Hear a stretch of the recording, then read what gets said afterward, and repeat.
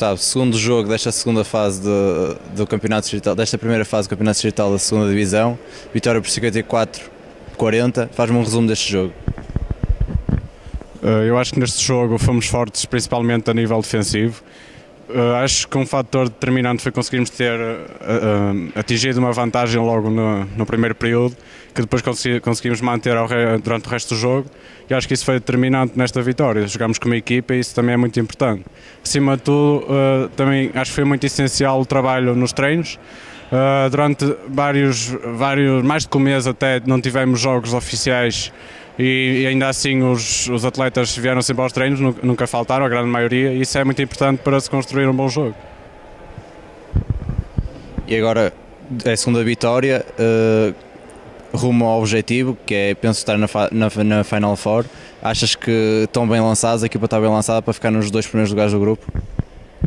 Sim, sem dúvida. Dois jogos, duas vitórias. Já ganhamos ao Penafiel fora e, portanto, acho que estamos bem lançados para atingir a Final Four, que é o nosso grande objetivo neste momento.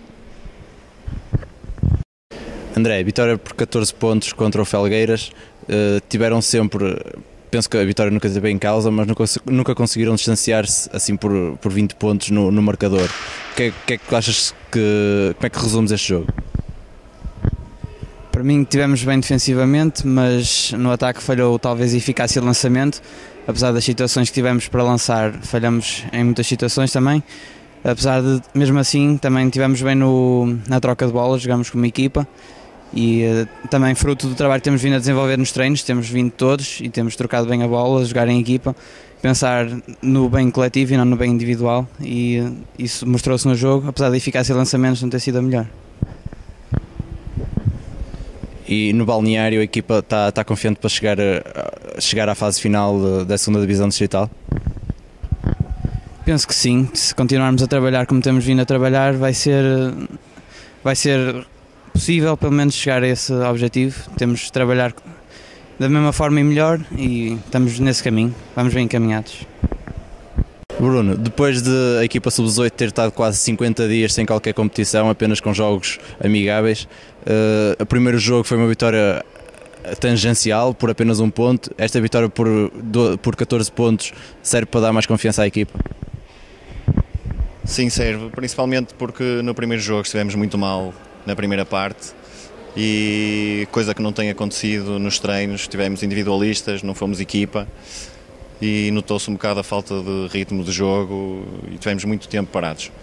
Hoje já, já foi bem diferente, defendemos muito bem, só permitimos 40 pontos, eh, só sofremos 40 pontos e deu para rodar a equipa toda, tivemos sempre, alguém, tivemos sempre à frente do marcador e acho que foi uma boa vitória, principalmente para fortalecer o grupo, porque depois temos ganho só por um ponto ao Penafiel, em que eu tive de me chatear com eles para eles mudarem de atitude e que felizmente mudaram na segunda parte, que nos permitiu ganhar o jogo neste jogo, acho que desde o início entramos com uma atitude francamente positiva e que nos permitiu uh, rodar a equipa, fez com que jogassem todos e correu, acho que correu muito bem, tirando a eficácia de lançamentos e os lances livres, que se, se nós tivéssemos metido metade dos lances livres que falhámos, tínhamos ganho por mais de 20 pontos este jogo.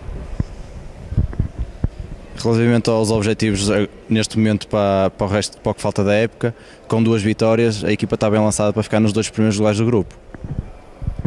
Sim, penso que sim. Acho que agora o nosso jogo mais difícil será com o Alfenense. Acho que nós e o Alfenense vamos discutir o primeiro lugar e com estas duas vitórias acho que garantimos praticamente, não garantimos nada, mas acho que é um, é um, estamos bem encaminhados para nos qualificarmos para a Final Four. E já, para acabar, queres deixar alguma mensagem aos teus atletas?